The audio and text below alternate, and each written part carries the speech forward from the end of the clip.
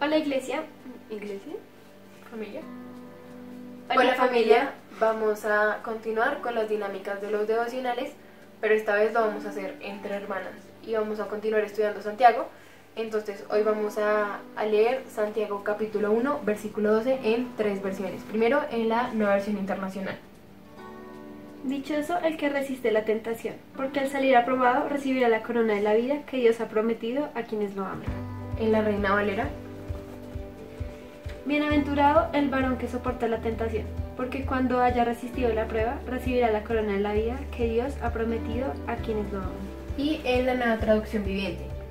Dios bendice a los que soportan con paciencia las pruebas y las tentaciones, porque después de superarlas recibirán la corona de vida que Dios ha prometido a quienes lo aman. Entonces vamos a orar para que Dios dirija este tiempo. Señor Jesús, gracias por la oportunidad de presentarnos en este devocional, Dios. Gracias porque tú has ido bendiciendo a pesar de las condiciones, Señor. Te pido por la iglesia, Dios, para que tú bendigas cada hogar, Señor, y que tú lleves este mensaje a todos los corazones, Señor. Te pido para que nos dé sabiduría y, y que seas tú el que dirige este tiempo, Señor. En nombre tuyo, amén. Amén. Bueno, lo primero es que en las tres versiones empiezan diciendo que nos debemos sentir dichosos, bienaventurados y que Dios va a bendecir a todos aquellos que superen o que resistan las pruebas. Entonces, estas pruebas de las que estamos hablando no son lo que viene a amargarnos la vida o a dañarnos el día, sino, como ya habíamos dicho en versículos anteriores, las pruebas lo que hacen es que producen en nuestra vida paciencia y constancia.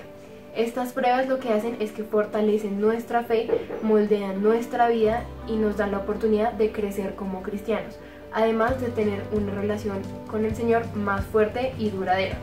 También tenemos que recordar que las pruebas, número uno, vienen con un propósito, que Dios no las pone porque sí, porque algo tiene que salir bueno de Él, porque Él lo está planeando por algo.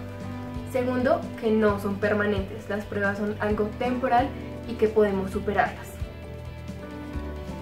Estas pruebas son las que nos fortalecen la fe y también es por donde Dios se manifiesta para moldearnos. Por eso es que debemos estar agradecidos y dichosos. Es como una carrera.